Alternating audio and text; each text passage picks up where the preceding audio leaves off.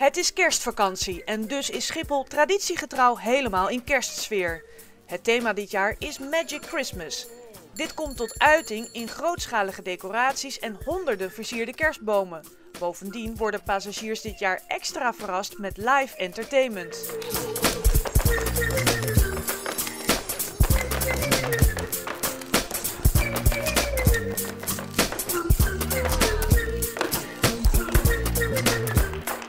Ook een traditie inmiddels is de opname van de Love kerstspecial.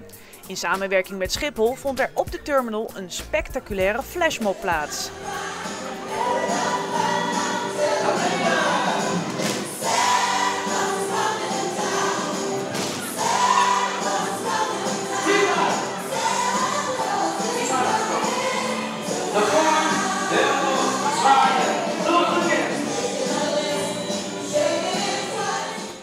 Hallo alle reizigers op Schiphol, ik ben Robert ten Brink en ik heb de eer om u allemaal een ongelooflijk gelukkig en gezond en fantastisch 2011 te wensen. Zet hem op.